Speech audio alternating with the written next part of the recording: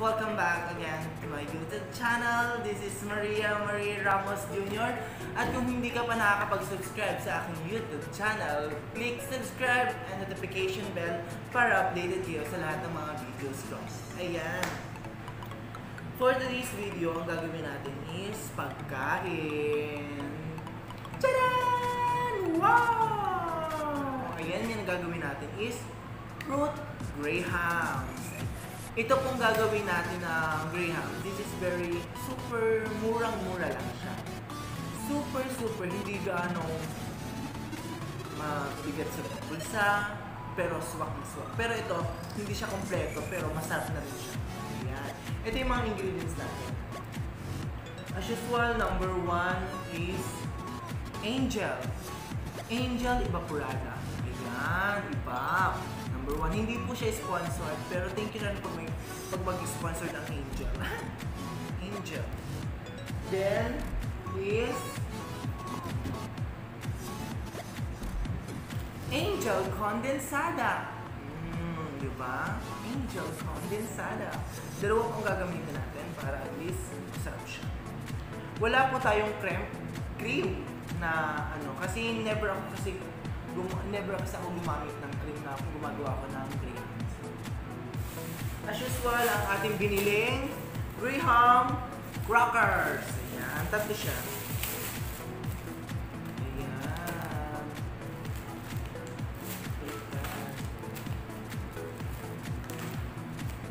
Yan ang ating mga ingredients for today. For perfect recipe of grahams.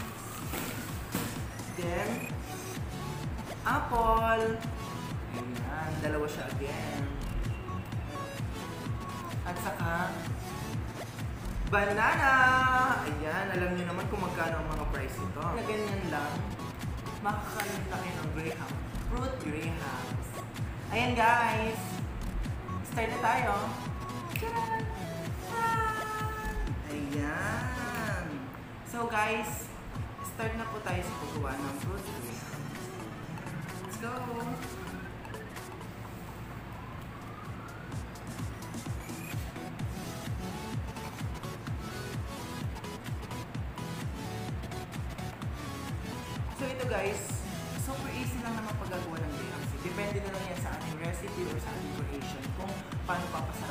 Simple recipe. Yan, di ba? Mas perfect na rin yung yun sa'yo kasi parang hindi ka ma-judge ng ibang. Hindi ka ma-judge ng ibang.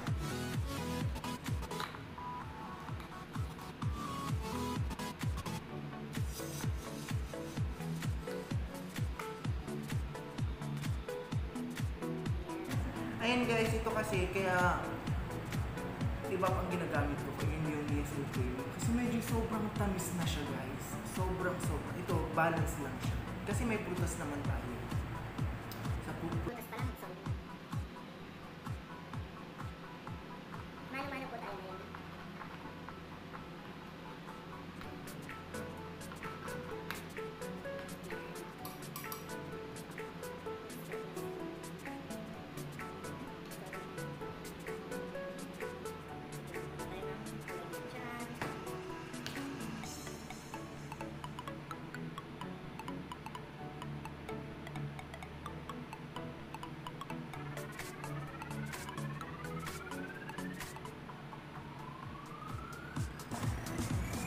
So after that first layer. natin